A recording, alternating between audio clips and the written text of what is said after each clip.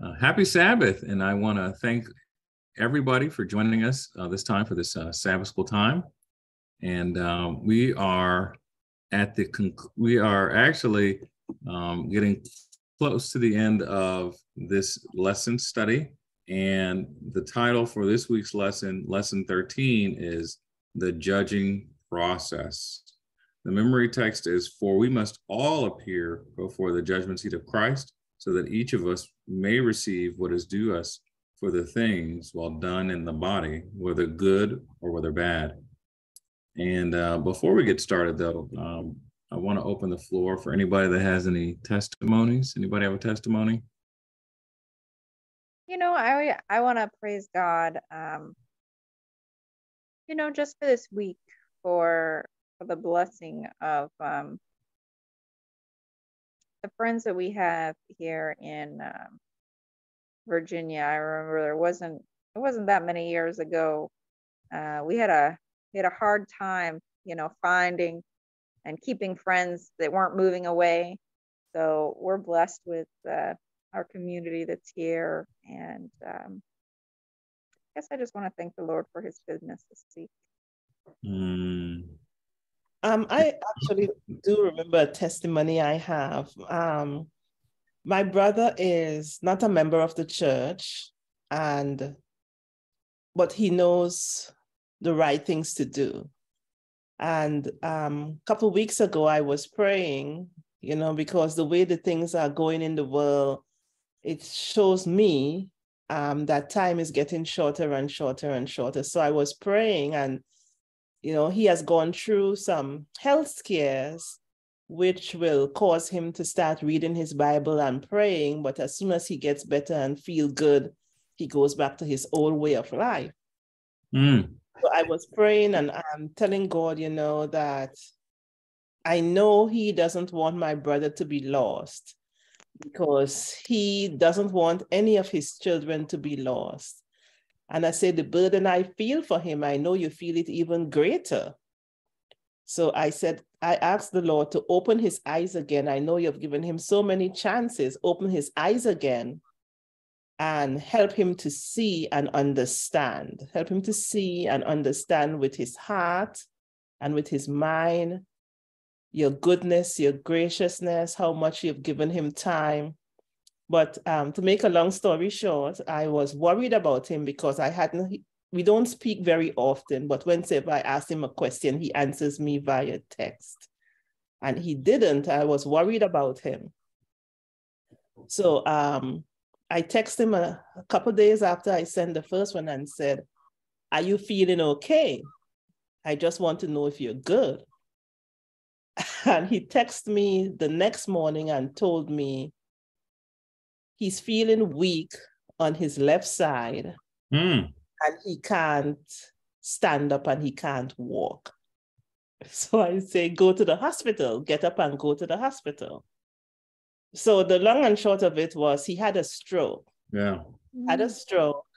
And while he was in the hospital, um, being assessed for the stroke, I ask the Lord to give me the right words and the right tone of voice because I don't want to be condemning, I don't want to be lecturing. So I told him, you know, this is the third time through your own lifestyle and your own habits that you've had a serious health condition that could kill you. And I said, What will happen if you die now? I said, God has been calling you all these, these years and you've been doing your own thing, saying your own thing, living your own life, you need to make a change now. You need to make a change now. You need to answer him. He's been gracious to you. Um, if you die now, when he comes, that will be it for you. But if you live your life and guide your children along with you, you know, you could inherit eternity. So he told me, Yes, I know. And he you know he, he's he's he, he's out of the hospital now. He's out of the hospital. He has no weakness no deficits. Um, he's doing well. His blood sugar has gone up. Um, he loves bread. So that could be why his blood sugar is up. But i just want to praise god that he has given him another opportunity and um, that my brother is being even more responsive now. And hopefully, by the power and strength of the Holy Spirit, he'll keep on in the direction the Lord is leading him. And I want to thank God and praise Him for being so gracious in giving him another opportunity and pulling him through this next illness that the Lord didn't visit upon him, but my brother, through his own living, visited upon himself. So I, I praise God for mm. that. Amen. That's an amazing uh, testimony. I want to praise the Lord because one of my uh, colleagues, uh, I've been praying for him, and you know, he, um, I guess he, he kind of stepped away from a job. It wasn't going the right way, and he kind of been out of work for a while. And he was praying to get a job in Houston at a specific school. And uh, I, it's interesting because I texted him on Wednesday or Thursday, I forget, and he let me know that he would he had just been thinking about me 30 minutes ago, and I came to find out that he um, had been offered a job in the city that he wanted to go to, and uh, he thanked me for his friendships, for my friend, thanked me for my friendship, and I just praise the Lord and then uh, pray that I can continue to be a witness in that capacity. And then another friend of mine, you know, just uh, praying for him. He got engaged. So it's just been a good week in terms of just seeing the people that you care for, the prayers being answered. And um, like Heather says, you just pray that these things can be uh, a testimony for these individuals about how loving God is and, and good God is, and that they make a decision to follow Him. Yeah. Okay. Without further ado, who would like to pray? Oh, actually, Heather, you're praying to open yeah. Or the Heather? I'll pray. Okay. Yeah, I was going to ask for a prayer request. Um, oh, yeah, prayer request. Doing a prayer request. Sorry. Yeah, um, I just want to pray for a friend. Um, her her daughter is um 16 and she is stepping out on her own. So just blessings for her um in her ventures. Mm. Okay. Any other prayer requests? My brother. Yes. Okay. Okay. All right. let's pray. Mm-hmm. Almighty Heavenly Father, Lord, we thank you for this Sabbath day. We ask you, please, to forgive us of our sins. And we just want to praise you, Lord, for inviting us into your presence because you have told us to come boldly before the throne of grace.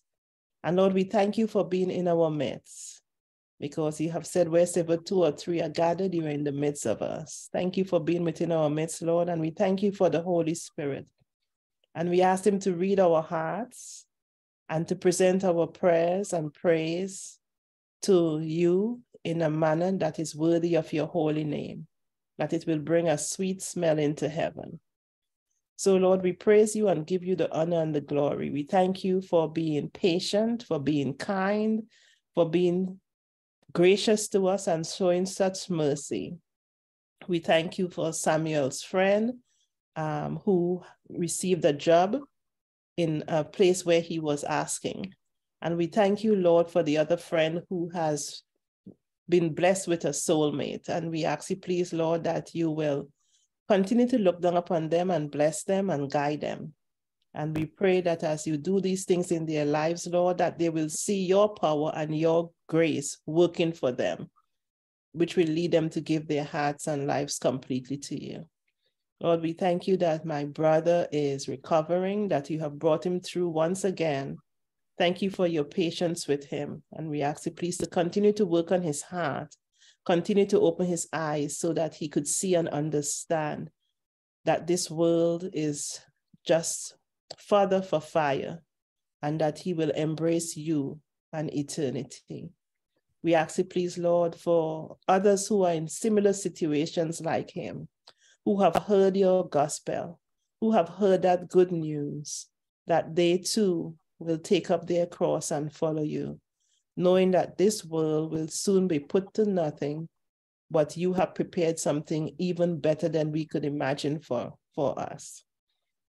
Lord, we thank you and we praise you. And we ask that as we open your word and look upon judgment and the love that's shown in your judgment, that many will reject the lies that Satan has said about you and cleave to you. Is my prayer in the holy name of Jesus. Amen. Amen. Well, we're going to begin our lesson on Sunday. Oh, yes. I, I forgot Lindsay's request. okay, we can we can always pray again. Go ahead. Okay. Um, Heavenly Father, we ask you please to be with this 16 year old girl as she goes out on her own. We know that this world is not a safe place, and we pray that strong angels will attend her, that the Holy Spirit will be her conscience and her guide, and that she will make wise decisions. In the holy name of Jesus, amen. Amen. amen. yes, you. very, very important prayer. Yes. So we're going to go to Sunday's lesson, the final judgment. Okay. Now it's interesting because judgment, oftentimes when we associate uh, with the word judgment, it seems like it's negative, but it can also be positive as well. And so this lesson will kind of touch upon the two different ways in which we see um, the gospel uh, the, the the way Jesus refers to the judgment. And there's two long passages. And so I want to ask the group uh, it's Matthew chapter 25, verses 31 through 46. Who would like to read that or summarize that?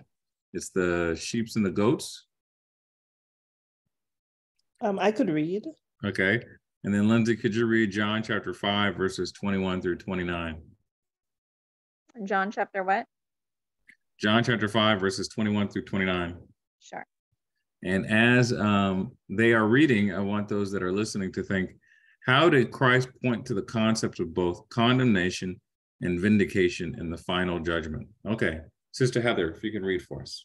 Okay, uh, Matthew 25, um, chapter, chapter 25, verse 31 to 46. And I'm going yeah. to. When the Son of Man comes in his glory with all his angels, he will sit on his royal throne.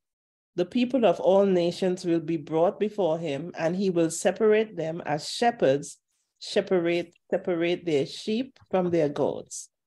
He will place the sheep on his right and the goats on his left. Then the king will say to those on his right, My father has blessed you. Come and receive the kingdom that was prepared for you before the world was created. When I was hungry, you gave me something to eat. And when I was thirsty, you gave me something to drink. When I was a stranger, you welcomed me. And when I was naked, you gave me clothes for to wear. When I was sick, you took care of me. And when I was in jail, you visited me. Then the ones who please the Lord will ask, When did we give you something to eat or drink? When did we welcome you as a stranger or give you clothes to wear or visit you while you were in jail or sick? The king will answer, Whenever you did it for any of my people, no matter how important they seem, you did it for me. Then the king will say to those on his left, Get away from me. You are under the God's curse. Go into the everlasting fire prepared for the devil and his angels. Uh, mm. I was hungry, but you did not give me anything to eat. And I was thirsty, but you did not give me anything to drink. I was a stranger but you did not welcome me. And I was naked, but you did not give me any clothes to wear. I was sick and in jail, but you did not take care of me. Then the people will say, Lord, when did we fail to help you when you were hungry or thirsty or a stranger or naked or sick or in jail? The king will say to them, Whenever you fail to help any of my people, no matter how unimportant they seem, you failed to do it for me. Mm.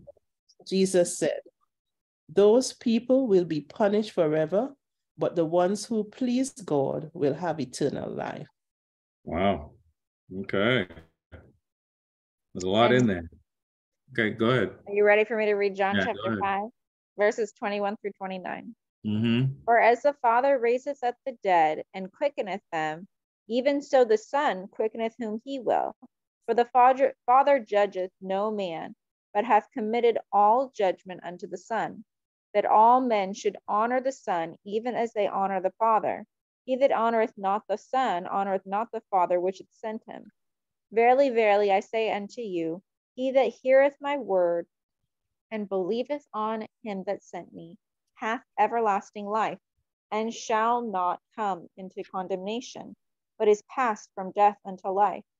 Verily, verily, I say unto you, the hour is coming, and now is, when the dead shall hear the voice of the Son of God, and they shall and they that hear shall live. For as the Father hath life in himself, so hath he given to the Son to have life in himself, and hath given him authority to execute judgment also, because he is the Son of Man. Marvel not at this, for the hour is coming in the which all that are in the graves shall hear his voice, and shall come forth, they that have done good unto the resurrection of life, and they that have done evil unto the resurrection of damnation. Hmm. Okay. The question again is How did Christ point to the concepts of both condemnation and vindication in the final judgment? So, was the judgment all bad or was it all good? Or depends? I mean, it depends. It, it's it's clear reading in John that it's Jesus that's doing the judgment, right? Mm-hmm. And um, from what Heather read in Matthew, it definitely looks like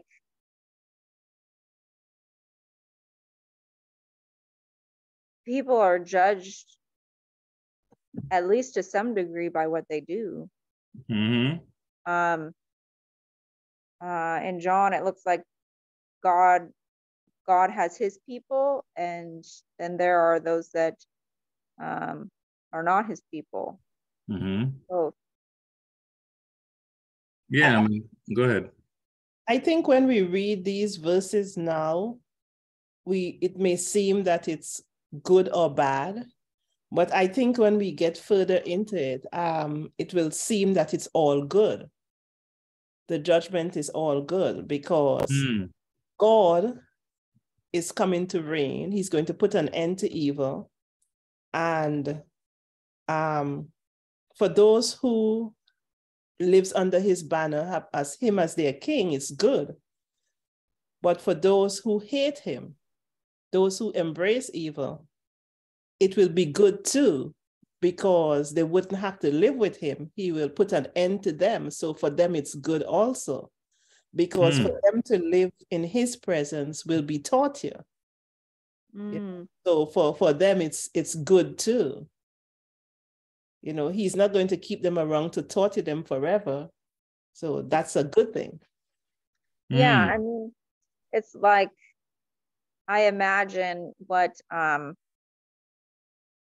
if my daughter were to pick all the things that we would do, like if she had her own birthday party and she got everything she dreamed of, everything would be pink and it would be sparkly and everything would be soft and squishy and it would be exactly what she wanted and she would be over the moon at least for a time and yet Mhm. if you take someone else and you were to put them in that same situation with those same activities and they didn't love those things they would be miserable and i think it's that same thing or even you know something as simple as someone that you love you enjoy that time with them and someone that hates that person is not going to enjoy that time and i think that's the same thing with god Yeah. you know people that are his friends and those that are not he won't force anybody Mm. So they're happy to not be with him. Yes Yeah. yes So there's there's interesting because there's a lot to think about, but we were limited somewhat by time. So the thing is, if we're saved by if we're saved by grace through faith, why does Jesus seem to point out what we do when it comes to distinguishing between the wicked, those that end up with Jesus, and those who do not? Where where do our actions play into this? I think it's hard to identify and just say, okay, well, this one loves Jesus and this one doesn't love Jesus. Well, how do you know? You know, you can't you can't see someone's heart and thoughts and mind, but you can see the choices that they make. You can see really what they love and who they are by what they do. Mm. So my question is, okay, but God knows everything. So why does he? Why does he? If God knows everything, why does he? Why does he need to point out whether somebody does something or not? For our sake, because we don't, and okay. I'm. I may look at someone and think, you know, that's a really good person, but I don't know their motives. I don't know their heart. Mm. Because another scripture, you know, he told the sheep and the goats here that the sheep did this and the goats didn't do that. But in another scripture, he also said some people did good things, but their motive, their motivation was wrong. Their heart was mm. wrong. They did the works, but not for the not because they had a relationship with Jesus Christ. Mm. They did the works out of their own self-righteousness. But I may know somebody who is doing everything, and I think oh, this person is slated for heaven. You can imagine mm. how many stars they'll have in their crown. And when I get to heaven and they're not there, I'll be saying, well, where is this person? Mm. The judgment is for me to see the, the righteousness of Christ's character, to see the goodness of his character. And when he makes mm. when he makes a decision, how right and just he is. That mm. way when um when everything is reset and everything is made new and perfect again, sin will never rise up because we have seen and we have understood. Hmm. I think to me, we need to step back and think about the God we serve. What kind of God allows himself to be accountable to his created beings like that? God of love. A God of love. But God is not a dictator. He's not a tyrant because he could just say, you know, in some of these countries, well, I just want him in this position. Why? Well, because I like him. I mean, that happens. That happens in organizations. Unfortunately, that happens in churches. That happens in you know countries, corrupt countries. So why is the God of heaven saying, okay, let's look at all let's look at all this stuff? I mean, to be fair, he has every right to just judge however he chooses to judge. Right. Mm-hmm. And we should just trust him. But he does it that way. And I think love is the key there because imagine it was your brother or it was your mother that was not in the kingdom and you were confident that they mm. should be mm. there. I think it would be hard not to question at some point is is that really fair? Is God just? Mm. Um, and so, because He wants us to be able to love Him freely, without reserve and without fear, he, I think that's that's the the only way to do that to remove all question from people's minds yeah because if if we end up in well when we end up in heaven amen amen amen. and we go down those golden streets and around one corner we come to hitler. Right. Oh yeah we gotta got i gotta get back to the books. Let's get back to he had a last minute conversion just like the thief on the cross you know he's right. he sincerely in his heart before he died and he ends up in heaven you know, you come and you come face to face with Hitler, you'll probably look around and wonder, am I in the right place? Unless right. the Lord has opened the books and he showed you the judgment of his heart, you know, what he, you know, why he's there. Hmm. So again, the works, the works, the works is not information for God, it's information for finite beings. That's the point I'm trying to get at, you know? Yeah.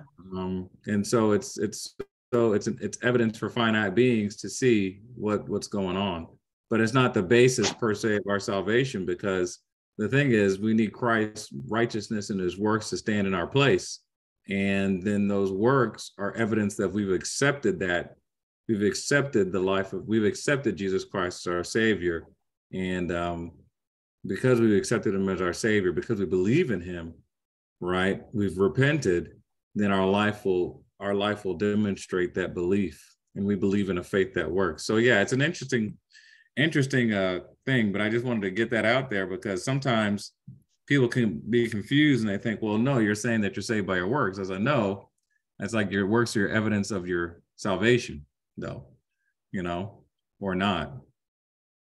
Because we have So- evidence in the Bible of many people who did no works. And Right. Right. You know, That's so it's true. not- yeah. The thief on the cross, all he did was believe at the last minute. And I think in our heart of hearts, we know that true love has action.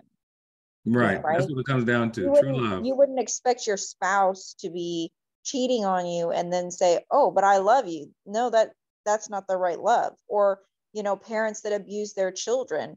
Oh, but I love them. I just, you know, I get angry or whatever the case may be. No, we know that our actions are linked or are linked Right. to love or not Yeah. love. yeah, to our choices. Yes. It remind it reminds me of uh, the story. We we knew a couple where uh, the lady, uh, the husband was taking money out of the bank, you know, and she Oh, just would not, and she would not believe it. She's like, my my husband would never do this, and she was upset and blah blah blah. I think she went to go get a withdrawal, and the the bank the, the thing was empty, and she was like, no, my husband would never do this. Blah blah blah blah blah. But then they had the video and the video showed him doing exactly what they said he was doing you know and so th- there there there's some there's evidence right for decisions you know even though they knew the truth they still had the evidence to show hey no this is what it's like. Mm. so for, so for her to see you know? Because i think what we forget is that heaven is a community. It's not like there's uh, there's other there's angels there's other created beings. And so i think it's interesting that we realize that okay there, it's a community of people that god is saying are are fit and they're healthy to join the community. So jesus is really saying hey, i trust in you and i believe in you and therefore look look at how they live. They're ready for the community you know? So and here's and here's the evidence for that. And so i think that the judgment really is a is a is a blessing because it's a demonstration of what god can do in man and what uh, when we have faith in him how his holy spirit can work through us. And then that's what the the judgment shows that evidence of that. Albeit it's not the the price because none of us can live a perfect life. We need that we need that life of we need the perfect life of christ but it's evidence of what happens when we believe so it's interesting. Anyway, the pre-Advent judgment. Uh, we have a few verses. Um, who would like to read Daniel chapter 7, verses 9 through 14? I can read it. Uh, and then we have uh, Matthew chapter 22, verses 1 through 14. Who would like to read that? I could stick with Matthew.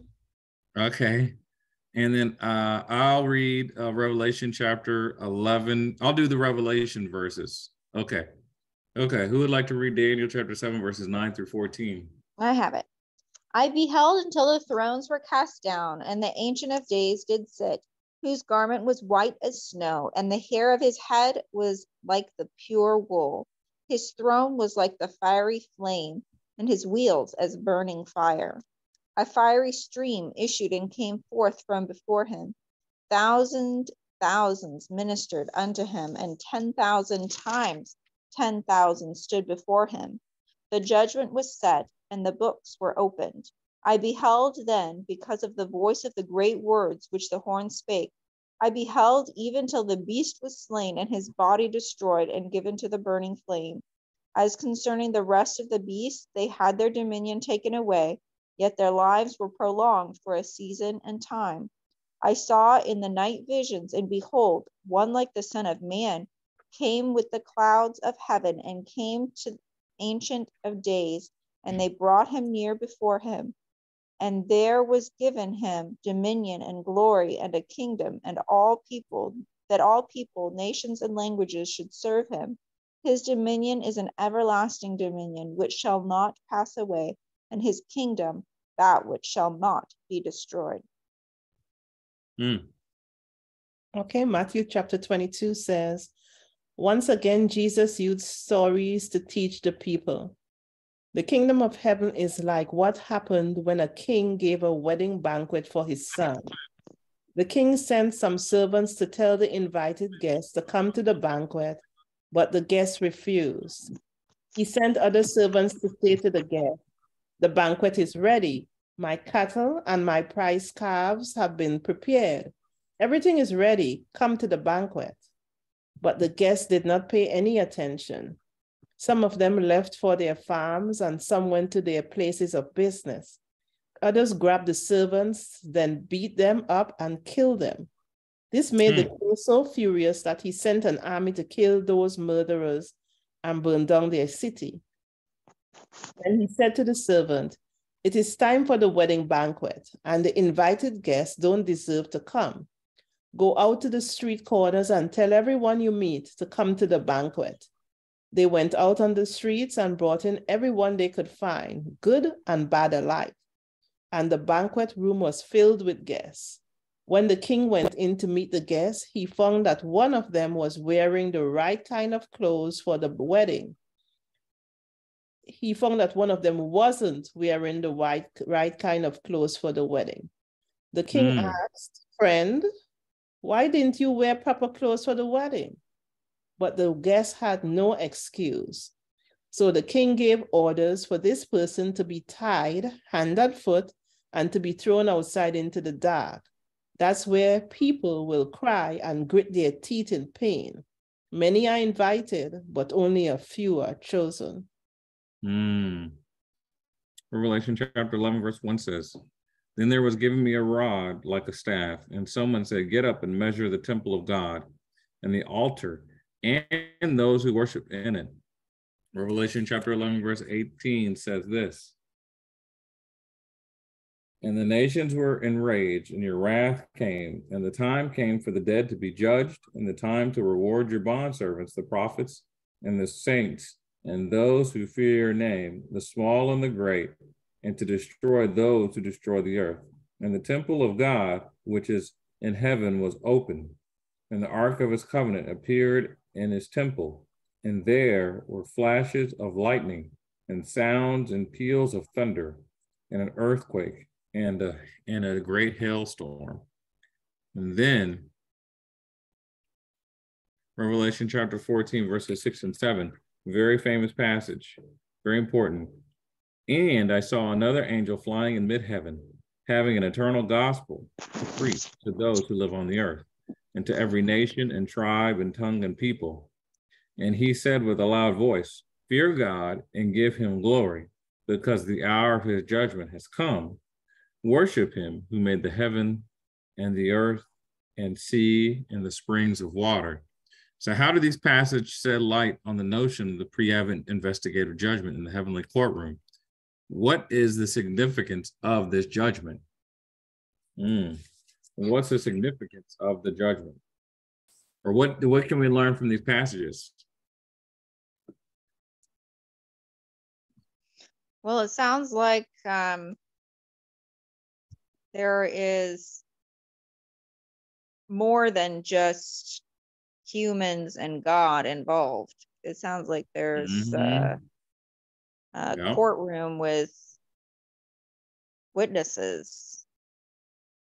Mm-hmm. That's true. Other creations. That's true. That's true. Anyone else?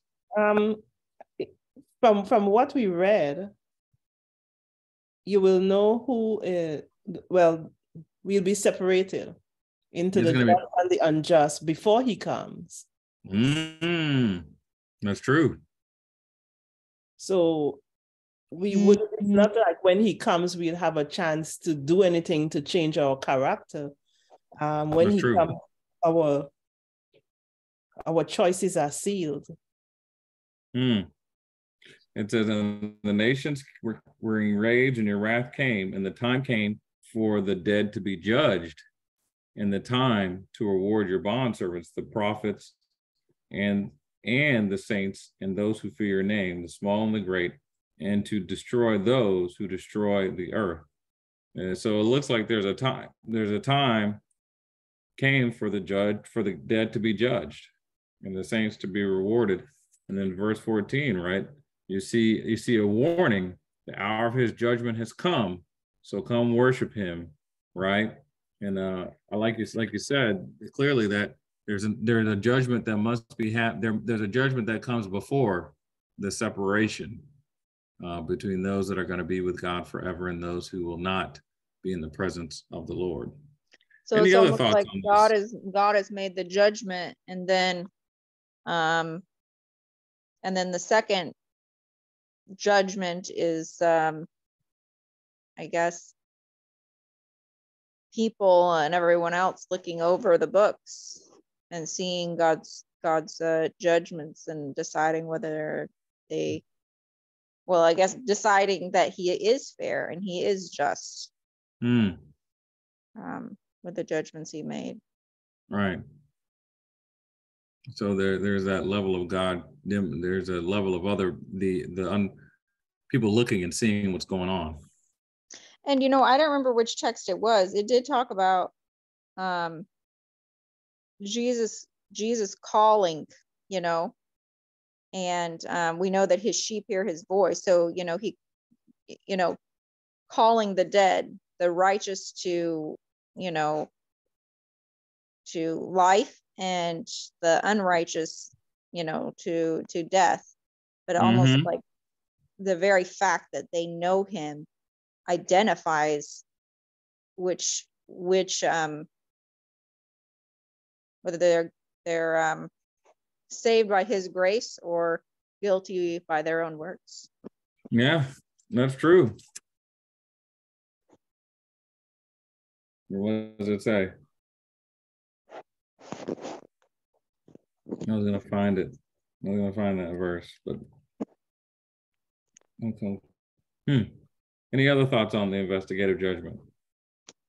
You know, it's funny because it seems like it's everywhere. It makes sense that if if if God is gonna come and bring his reward with him, that a determination must have been made before.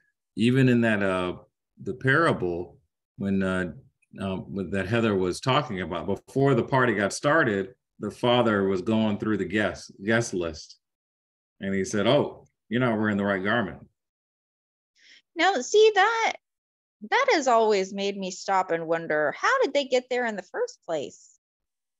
What is what is that talking about? Or that they're just wanting to bring out the fact that we need to have Christ's righteousness. We need to have his garment, not our own. Right. He and here's the thing, he probably probably either he didn't take it seriously or he thought this was good enough. I think that's the point. He thought that it was good enough. And there's many people today and you hear that that kind of thinking, well, you know, I don't need to be I don't I don't need to go to church. I don't need to, you know, necessarily have an intentional relationship with Jesus Christ. I can just always be in heaven because I'm a good person. I just do good things. But that's not that that's not good enough. You know, my righteousness is filthy rags. I need Christ's righteousness. So I got to accept that garment. I think that's the deeper truth, like you're pointing out, uh, Lindsay. But you see that there's an investigation of those that are there that have accepted the invitation. You know. Mm-hmm. Okay. Tuesday, the millennial judgment. We kind of referred to this uh, beforehand. Um, who would like to read? And the question is, why should the saints participate in the millennial judgment? Um, who would like to read First Corinthians chapter 6, verses 2 and 3? I can do that. Okay. Or do you not know that the saints will judge the world? And if the world is to be judged by you, are mm. you hmm. incompetent to try trivial cases? Do you not know that we are to judge angels? How much more then matters pertaining to this life? Mm. I'll read Romans chapter 20, verses 4 through 6. It goes, Then I saw thrones, they sat on them, and judgment was given to them. And I saw the souls of those who had been beheaded because of their testimony of Jesus and because of the word of God, and those who had not worshiped the beast or his image and had not received the mark of their on their forehead and on their hand, and they came to life and reigned with Christ for a thousand years. The rest of the dead did not come to life until a thousand years were completed. This is the first resurrection. Blessed and holy is the one who has a part in the first resurrection. Over these, the second death has no power, but they will be priests of God and of Christ and will reign with him for a thousand years. And then verses 11 through 13 that I saw a great white throne and him who sat upon it, from whose presence the earth and heaven fled away, and no place was found for them. And I saw the dead, the great and the small, standing before the throne, and the books were open, and other books, and another book was open, which is the book of life. And the dead were judged from the things which were written in the books according to their deeds. And the sea gave up the dead which were in it, and death and Hades gave up the dead which were in them, and they were judged according, every one of them, according to their deeds. Mm. So again, you see this corporate judgment. Why should the saints participate in the millennial judgment? I think Heather kind of touched on it. Why should we participate? Why does God give us the privilege of participating in it? We know his um he's just. We could see why he made certain decisions and understand for our understanding. We could see that um, based upon the things he has done, the accusations that Satan has made against his character are invalid. Mm. You know, I think also because it shows who God is. Hmm. And I think it's I think it's like it's a revealing of God to his people because it helps us to understand him and know him in a deeper way. And I think God wants to be known by his people. That's true. Because we, we've been we are walking by faith. We are walking by faith, not by sight. And in some things, when he gives us the sight, it deepens our faith. So right. I think this is giving us sight into why certain things have occurred and why certain um, decisions were made, why certain um, opinions were formed, why, why certain foundations were laid. So I think it's mm. a site where we could have even greater faith because we we see we see the horror of sin. We see right. how many opportunities God had given people that they said, No, I don't want to live for you. I don't want, I don't want to have any part with you. And we have seen how um Satan, you know, even when Jesus is coming back, and he he acknowledges that Jesus, you know, all the sinners will acknowledge that what Jesus is, is correct, is true. Yet they hate him so much that they still think they could overthrow him. You know, the, the mystery of sin and what it does to your heart. Mm-hmm. So I mm-hmm. think he has to reveal all of that to us so that we could, because we the Lord has withheld so much from affecting us because if he didn't stand between us and sin in a lot of places, we will be de- destroyed because sin mm. in itself is a destroying force. And he had to let us see sin walking around naked so that mm. we can understand how destructive it is. And I think in, in, in the judgment, we get to see what people have done, what he has held back, how he has stepped in, see his love and see his character so that we can understand so that sin will never ever rise up again because we've seen how mm. horrific it is and how because of sin god we nailed god to a tree mm. even while while he did that and we understood what god was doing for our in our behalf we still reject him. Mm. You know, we, you know, you you said something there. Um, we walk by faith, right? At this Yeah. point, we don't understand why things sometimes happen in this world. In fact, a lot of times we don't understand why things are the way they are, why things happen. Um, just, you know, things in the world. And I think Mhm.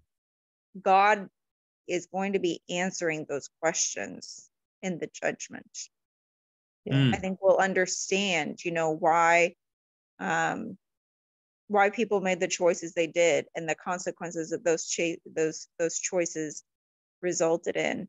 And um you know, God he wants us he he wants to be able to answer those things for us. So I mean, Yeah. the Mm. judgment it'll be a solemn time, but in some ways I think it'll be a very healing time. Yeah. Mm.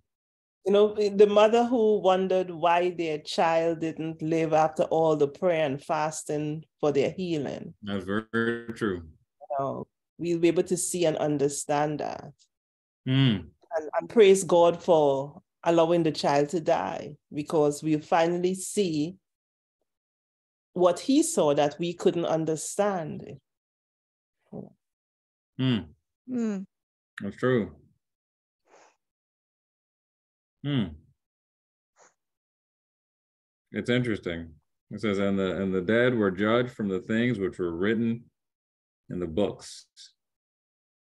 And so yeah, we get to see these things. We get to we get to uh, understand why they're not here and uh, come to uh, come to a place of peace. I mean, to me, it's just amazing because God, you could God, God, argue God doesn't have to do that. You know, God.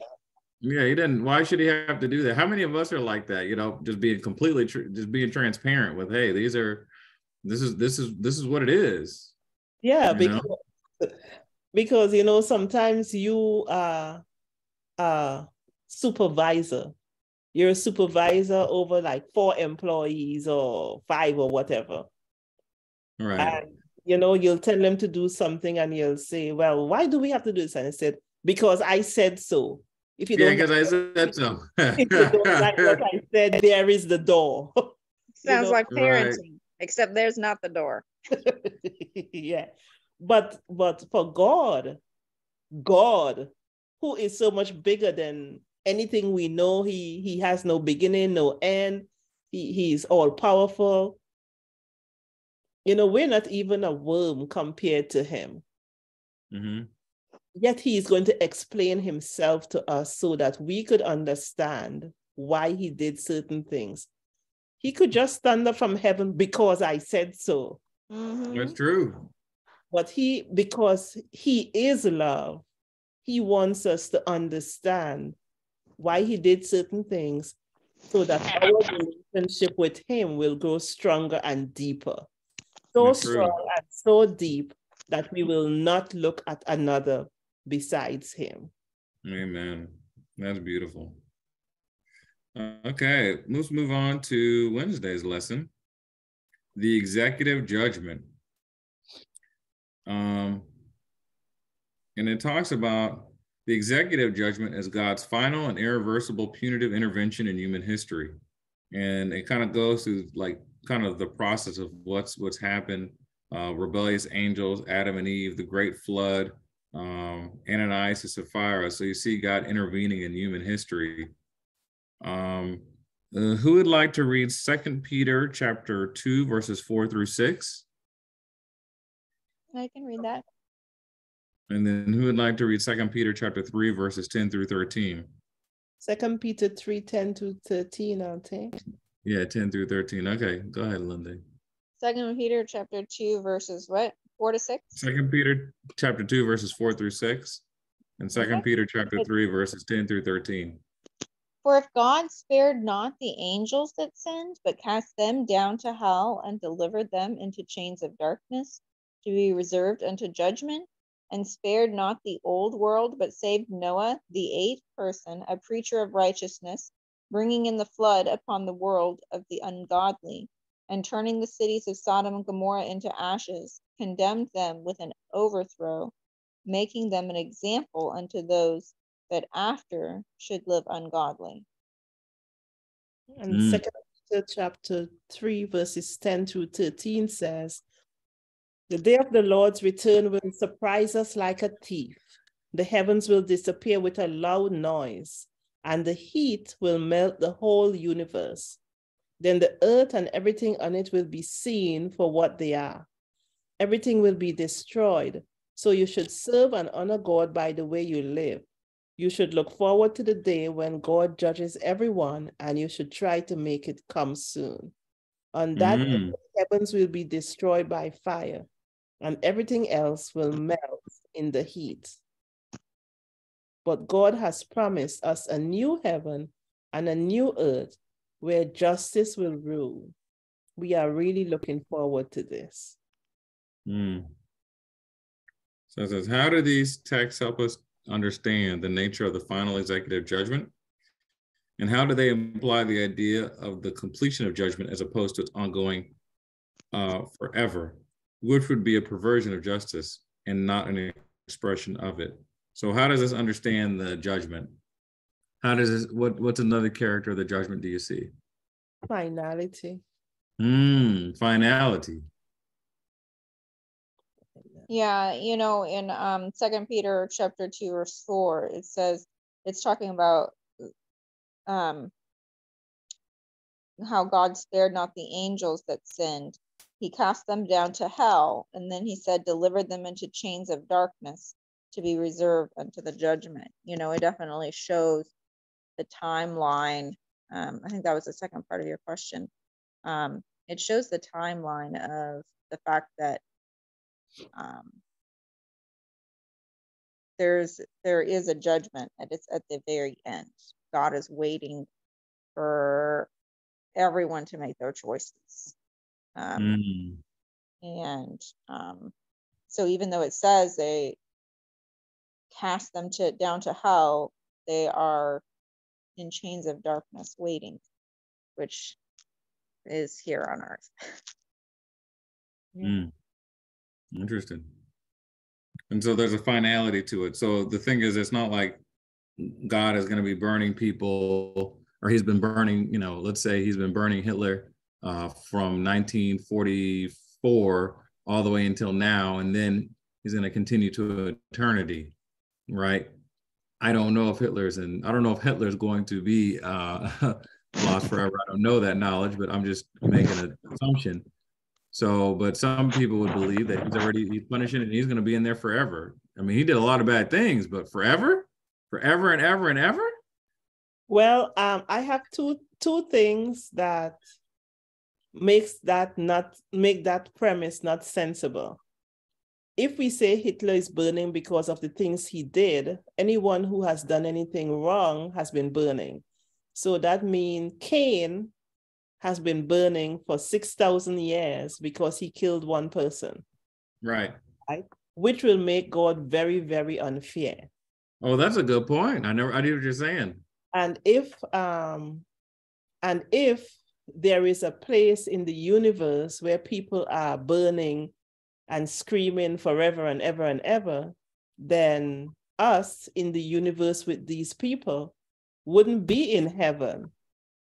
Because let's say my dearly beloved uncle goes to hell for something that he did. You know, he he he rejected God and he's in hell. I'll be here knowing my uncle is burning and burning and burning and burning. And it wouldn't be heaven for me. It wouldn't be a Mm. earth for me. Because even though the Bible says that God has wiped away all tears, there will be no more tears. I still could feel. So I'll be there heartbroken and can't cry for my uncle. Right? And think about God, right? Those are his children. Yeah. Because he loves I think to me that's interesting. He loves each and every one of us with the same everlasting love. That's true. And some of us he is going to bring into his house because he loves us. And some of us he's going to destroy because he loves them, because he know it will be pure torture and hell for them to live with him. hmm Because I don't know if any of you have ever met a person and you don't know why, but you just don't like that person. Every time you see that person, you get upset. Yeah. For, for no apparent reason. They just rub you the wrong way. Right. That magnified a million times is what the unsaved person will be feeling in the presence of the Lord. Every time True. they see him, they want to kill him. They want to destroy him. They want to destroy his people. So, him getting rid of those children is out of love. So, they wouldn't have to Mhm. suffer from that type of feeling, that type of anger, that type of hatred anymore. Mm. So, having them around burning forever. Can you imagine seeing your children, your creation that you love so much, just burning and burning and burning through all eternity Mm. as an eternal being? You know? Right. I like what you said. I never thought about that because what it is is if that's the truth, then it minimizes, right? It kind of minimizes. Well, you know, whoever you kill one person, you kill six million. It's all the punishment's the same because after eternity, it all becomes the same amount of time. You know, it's no And you know, distinction. it just seems like it would take such a very to believe that about God. He would just really be a horrible. He'd be hor- he would just be a horrible God to to really have that be the solution, you know. And I think to me that's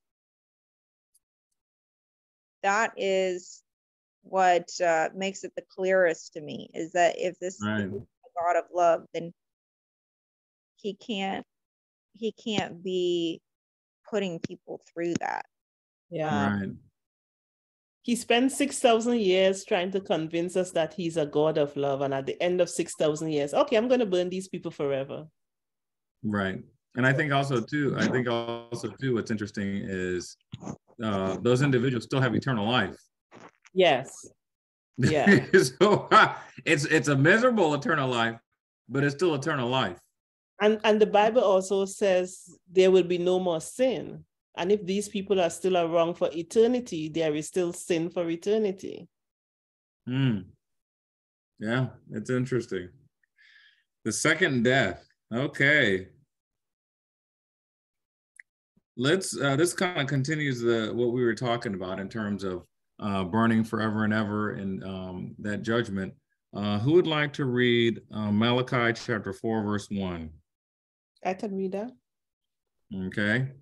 Uh, who would like to read Revelation chapter 20, verses 14 and 15? I can read that. Okay. I'll read Revelation chapter 21, verse 8. Okay, starting with Malachi. For behold, the day is coming, burning like an oven, when all the arrogant and all the evildoers will be stubble. The day Mm. that is coming shall set them ablaze, says the Lord of hosts, so that it will leave them neither root nor branch. Hmm, Hmm. completely gone. Revelation chapter 20, verses 14 and 15. And death and hell were cast into the lake of fire. This is the second death. And whosoever was not found written in the book of life was cast into the lake of fire. Hmm. So hell and death are also consumed. So, in Revelation chapter 21, verses 8 says, But for the cowardly and unbelieving and abominable and murderers and immoral persons and sorcerers and idolaters and all liars, their part will be in the lake that burns with fire and brimstone, which is the second death. And to me, either either either is death or is not death, right? When we go to you know when we go to somebody's funeral, we don't expect them to, we don't expect to see him at Kroger tomorrow, right? I'm not trying to make a light of funeral, but you know what I'm saying? What I'm trying to say. Or either to it's death still or it's be- not. Or to still be breathing or in a coma. Right, exactly. You know, it's either it's death or death, and so it makes it very clear that the lake of fire it's a complete destruction, a final destruction. Um, and to me, that uh, that's the that's the sign of a merciful God, because like Heather said, if you know, it, could you imagine us forcing people to like, you know, I think a lot of people don't come to church now, right? Imagine if it's like, okay, well, sorry, I got to pick you up and take you to church. That's what God says, man. We just, I'm sorry, we got to worship him. I know your whole life you didn't worship him, but we're in heaven now. We all got to worship. That'd be the worst thing. Or like the Inquisition, convert them at the end of a sword. Right, exactly. You know, well, it's either this, it's either it's either worship God or it's the other place. You know, that that doesn't seem like that's free will and that's choice. And um, for for people um, who read the scriptures and read the the the scripture that talks about the dead burning forever and ever, right? Mm-hmm. I just want to say that forever and ever, um, like how we say, and I, I remember there was a little girl at church that told me, when are we gonna eat? I'm starving. yeah, exactly. said, are you starving? She said, Yes, I'm starving. I haven't eaten in forever. right. And I said, Are you starving or are you hungry? she said, No, I'm starving. so for some people, for when we use the word forever, it's it's a term that we use to to um connotate the long period from the beginning until it ends. Right. It was forever, you know, for um for somebody who really has to go to the bathroom and there's somebody in the stall of you, in, in right. in front of you. It takes forever for them to That's come very True. You know, mm-hmm. so forever in relationship to all the other scripture that says there will be left neither root nor branch and that shows you that Sodom and Gomorrah had eternal fire and they, and Sodom and Gomorrah is gone, so there's no evidence of it. Eternity just means until it comes to an end, until it comes mm-hmm. to an mm-hmm. end. So what what would uh, so this is an interesting question. What would be wrong with the idea that God saves everyone in the end? Why is that such a bad idea? There are people that do believe that eventually everybody will be saved. Yeah, but not everybody wants to be with him, and he's not going to force anyone uh, to be with him. Mm-hmm. You know, because uh, it will have to be like a communist regime. You know, he brainwash everybody, or he he has everybody there under duress. You're gonna mm. be no matter what. You know, it's like a rape of the mind. You know, you, right. you you'll be with me no matter what because I want all my creations with me. And right. people, people in this world make a stand and say, No, I don't want to be with you. Some people right. say, I don't want to be with you. Some people said, I want to be by myself and do what's best for me. And some people say, you know, I choose Satan, I choose the great deceiver.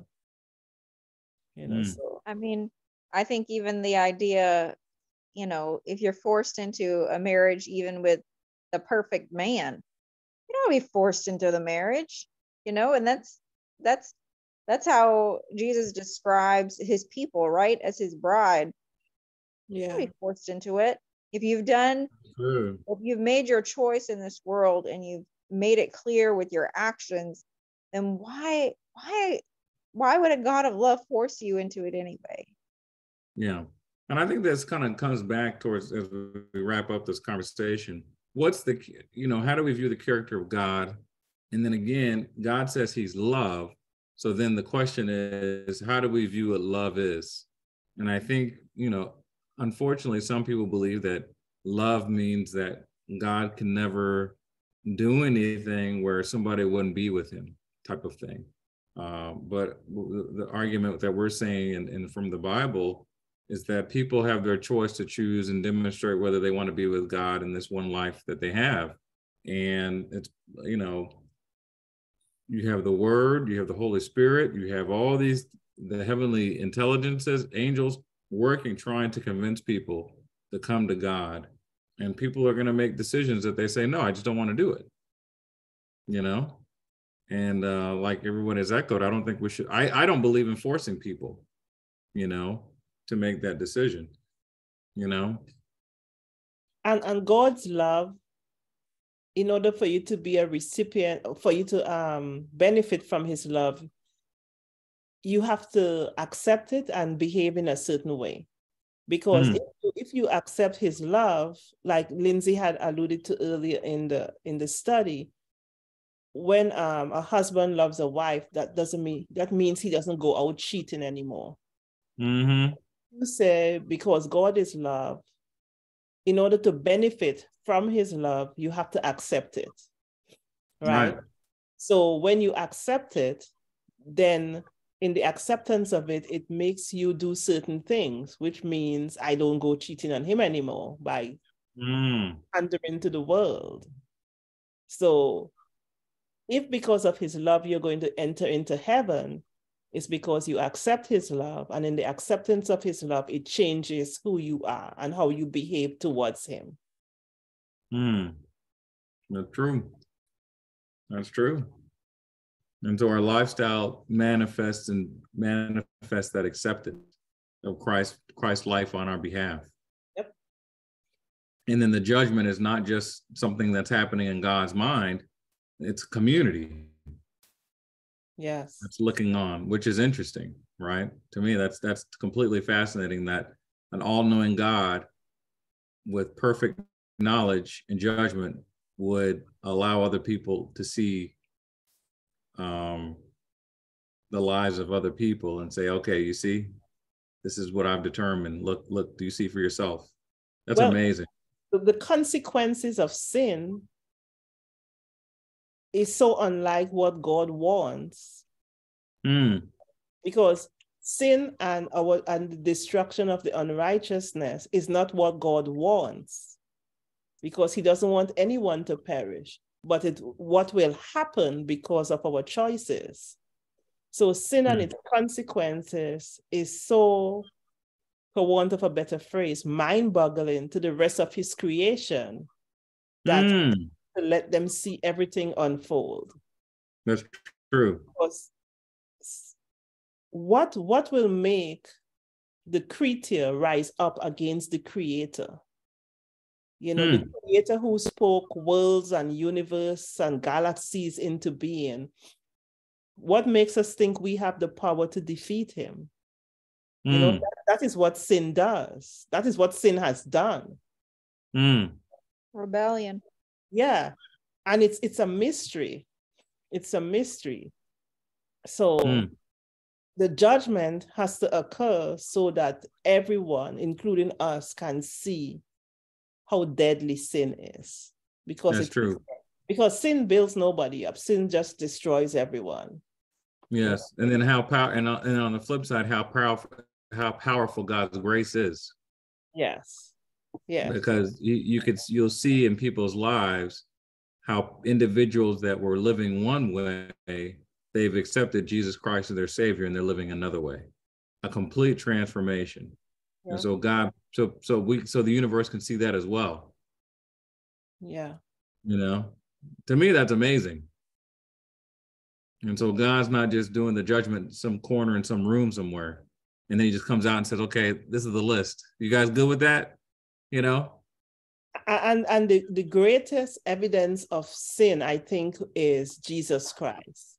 Mm. Because Jesus Christ, you know, people say, Oh, yeah, I'll die for my brother. But God didn't die for his brother. Right. Creator died for his lowly creation. Mm-hmm. He stepped down and he became put on human form and remained in human form. Because mm-hmm. I remember when I was a child and I learned that Jesus can't be omnipresent anymore because of what he did for us. I was shocked. Mm-hmm. I said, What? Yeah. He can't be everywhere again? If it was mm-hmm. me, I mm-hmm. wasn't dying for them because I want to be that powerful still and be everywhere. Right. But mm-hmm. he gave that up for us. He put on humanity and kept it for us. Mm-hmm. Can you imagine that? Right. It's true. So anyway. I can't even imagine having it, much less giving it up. Yeah, yeah. Yeah. That's true. What man, that's a yeah, and I, I don't, you know, it's funny. I'm looking forward as we conclude this. I'm looking forward to, in, I'm looking forward to being in heaven. That's the thing I look forward to the most. You know, being with Jesus, and then also being with believers, and just just really like, you know, we're not limited by bedtime, but just thinking and talking about these things. Like, man, man, Jesus is amazing. That is amazing. Yeah. You know, and we'll it'll be, I think it'll be heaven because we'll just hear about all these testimonies about God's goodness and what he's done. And like just can you imagine the testimonies that just keep on going and going and going? And we're gonna all be like, man, that's so amazing. Praise him. Praise him. Okay. Who would like to close? Lindsay, can you close for us? Sure. Dear Lord in heaven, we thank you for this Sabbath. Um, we thank you for our warm homes. And Lord, we thank you for this opportunity we've had to um, learn about you, Lord. And it's just we think more deeply about um, who you are and um, the way you plan for judgment. Lord, we thank you not just for your justice, but for your mercy and for the way that you love us, Lord. We ask that you help us um, to honor and love people like you do, Lord, um, that we might um, lead them and show them who you are, and then respect their um, their choices after that, Lord. We thank you for your example. And um, we ask that you are with us, that you help us to um, to trust you with other parts of our lives as well, um, so that we can have your perfect peace. We ask that you bless each set of ears that are listening this to um, this lesson, and Lord, we ask that you help them to also learn to um, know you more deeply. And we look forward to seeing you again face to face. We ask this, Lord, in your holy name. Amen. Amen. Amen. God bless everyone on this. Happy Sabbath. Happy Sabbath. Happy Sabbath.